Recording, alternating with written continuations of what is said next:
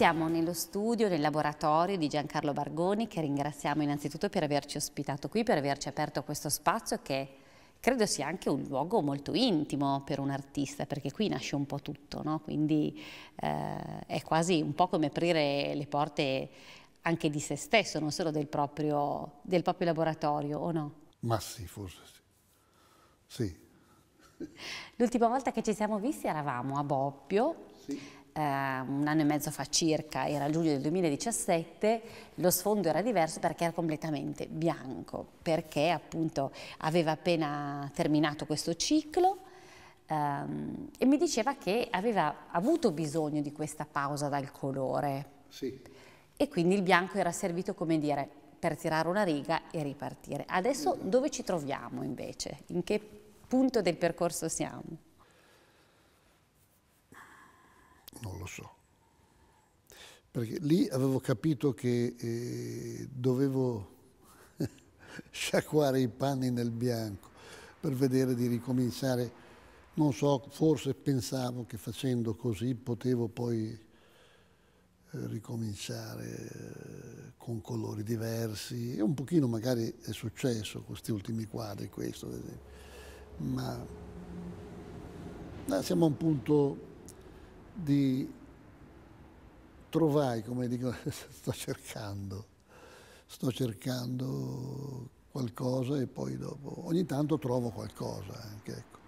E dove le trova le cose quando le cerca? E, lavorando, lavorando, si, cioè, io parto ad esempio per fare un quadro, non so, di un certa, un'idea di massima ce l'ho in testa con un certo colore, poi mentre sto lavorando trovo che non va bene in quel modo, lo modifico e magari cambia completamente aspetto e mi si rivela come una cosa che nuova anche per me. Cioè non, ehm, quando, è una cosa incredibile, ma quando parto con un progetto in testa difficilmente viene come l'avevo in testa. E questo implica anche però un, un, sapersi ascoltare molto, un saper rimanere molto in contatto con, con se stessi, o no? Beh, questo, questo, questo è un'operazione che mi viene abbastanza naturale. Io mi pongo veramente eh, sempre eh, un sacco di paranoia, di problemi, di, di, di interrogazioni. Poi col tempo che diventa sempre più dura. Ti poni sempre le domande che ho citato già l'altra volta nell'intervista, da, da, da, dove veniamo, chi siamo, ma soprattutto dove andiamo, dice. E lì allora diventa un po'... E gli interrogativi nel tempo trovano risposte diverse? E non trovi mai delle risposte. E quando, a mio avviso, quando, dai, quando trovi delle risposte è perché ti racconti delle favole. Eh, sì. Sono lo sprone per andare a cercare ancora, quindi. Sì, continui a cercare, cercare cioè, eh, sperando di trovare, trovi qualche cosa, ma sai un po' come il percorso verso l'utopia, no? L'utopia non ci arriverai mai, se no non sarebbe l'utopia, però il percorso per arrivarci è molto interessante. C'è qualcosa um, riguardando le sue opere tantissime eh, qualche elemento che lei ritrova eh, e che quindi una traccia di sé, del, del, suo intimo, delle sue domande o delle sue inquietudini che rintraccia nonostante il passare del tempo, nonostante magari anche il cambiamento della, della tecnica, del colore, eh, del tema, ma sì, riconosco che c'è quella traccia di me.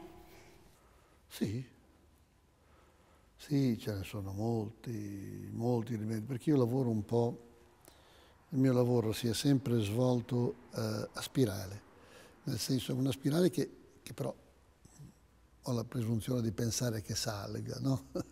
però è cioè, il ritorno su un'operazione che ho già fatto, la modifico, la porto ed essendo spirale sale. Però ritornano degli elementi, dei colori, dei, dei piccoli segni che, che facevo magari già negli anni 60 che sono eh, molto legati a, ma anche al mio fisico, insomma, evidentemente, perché non, non, non, è, non, è, spiegabile bene questa cosa, specialmente in questo tipo di, di, di, di pittura, eh,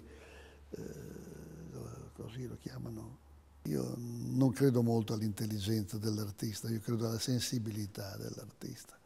L'artista è uno specchio no? che gira e, e se, se, funziona riflette quello, quello che vede, passa dentro ed esce.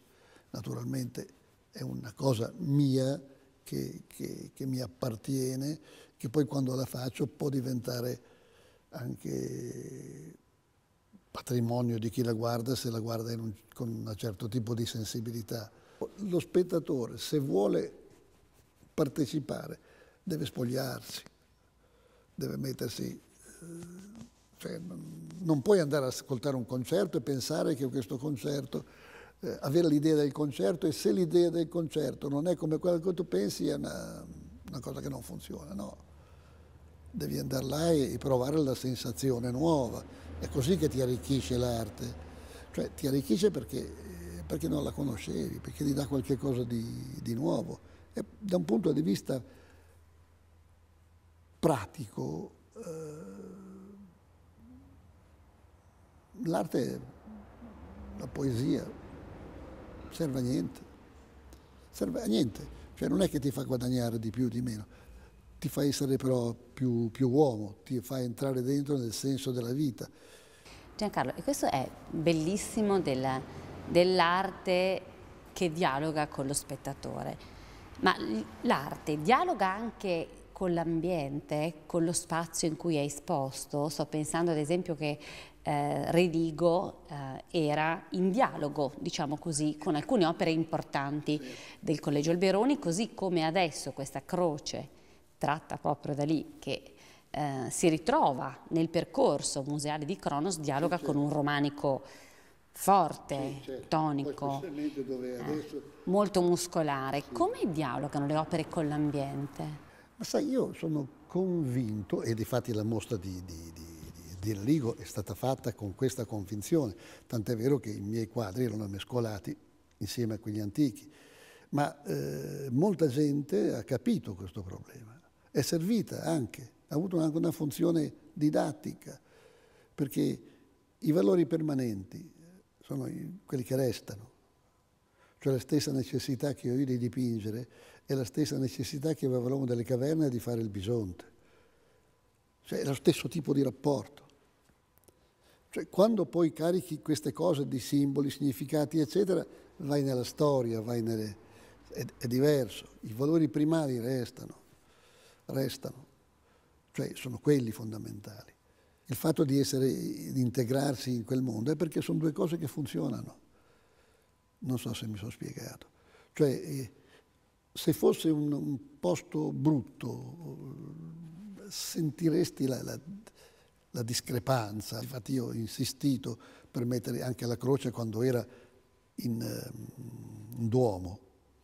Mi ricordo, sono andato molte volte a vederla perché mi incuriosiva vedere come reagiva la gente, perché capisci eh, se comunichi bene o male, cioè io sono mm, molto meticoloso, quando dipingo non so cosa succede, ma quando vivo eh, cerco di arricchirmi con questa me meticolosità o, o, questa eh, sete di sapere cosa pensano gli altri, qual è il tipo di meccanismo che gli fa funzionare la testa per percepire certe cose o meno.